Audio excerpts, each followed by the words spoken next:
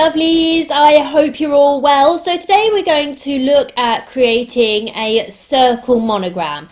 And there is a fantastic font that allows you to do this really easily. So we're on dafont.com, so we're just going to go in and type Monogramos you can see it's come straight up and I'm just going to search for it.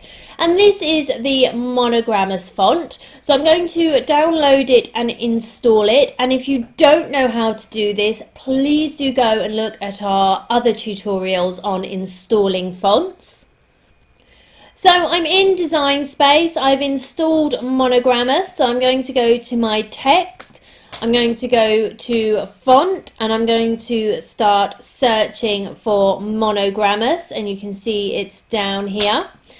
So if I have my caps lock on and I type in let's say my initials J E S so first of all, you can see that each individual letter has been created three times in its own circle. So you will need to individually type each letter so that you end up with your own circles. Now we could go through and slice these, but it, there really is no point. I'll show you how to do it in a second. Now with your caps lock being on you can see that our letters are actually cut out of our circles and we do not want that. So please ensure that your caps lock is turned off when you're using Monogramos. So I've turned my caps lock off and my first letter I want to use is a J. So I'm just going to bring that up here and then I'm going to get a, another text box and write a E and bring that up here and then finally I'm going to get a third text box and I'm going to type S and I'm then going to bring it up here. Now I want all my circles to be the same size. So I'm going to go up to my size area. I'm going to keep my lock on. I'm going to change my width to 2 inches and press enter and I'm going to do this for each individual circle so that they all then remain the same size. So once my circles are all the same size, I'm then going to go and grab a shape and I'm going to grab a circle. And again, I'm going to size my circle at two inches.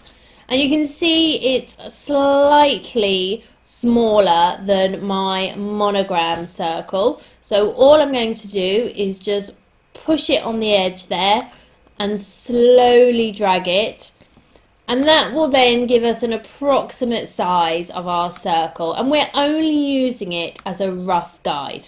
So the next thing we need to do is we need to grab a letter from each area. So I want my J, I want my middle E, and I want my end S. So we're going to use the slicing tool to do this. So the first thing you need when you're going to slice something is a shape. So we're just going to get a square and I'm just going to reduce it down and then I'm going to duplicate it. Uh, let's start with four times and to duplicate you just press this little duplicate button up there. So with this square, I'm going to grab it and I'm just going to place it over my two pieces I want to remove. I'm going to highlight the whole thing and I'm going to come down to my slice tool.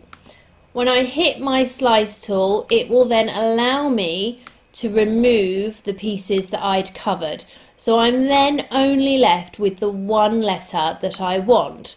I can then go in and delete these. So I now need two squares because I want the middle of my E. Now you can only slice one thing at a time. So if I placed both squares over my circle and just left my E in the middle and then I highlight my slice button will not come up. It is not possible to slice two things at once. So you can only do one thing at a time. So I'm going to slice and I'm then going to go in and remove these pieces here. I can then place my square over the other side I can highlight and again I can slice and I can then remove and delete these and this will then leave me with my middle E and then finally I want the end of my S. So I'm just going to grab my square. I'm going to make it slightly bigger. I'm just going to place it where I want it. I'm going to highlight all. And again I'm going to slice and then I can remove the pieces that I no longer want. So now I'm going to use the circle that I made earlier as a template. So the first thing I'm going to do is go and grab my E and just place it roughly in the middle where I want it. I'm then going to get my J and again I'm just going to roughly place it where I want it and then finally my S and this as I say is just a template so I want to move my E across slightly to get my spacing nice and even and then once I'm happy with that I can go in and remove my circle I'm then going to highlight my J, E and S and I'm going to weld them together so they become one file. I'm then able to make them bigger, smaller, transform them however I want. And that is just a nice, easy, simple way of making a circle monogram. As always, I hope this tutorial has been helpful to you. Please do subscribe and I'll see you all again soon.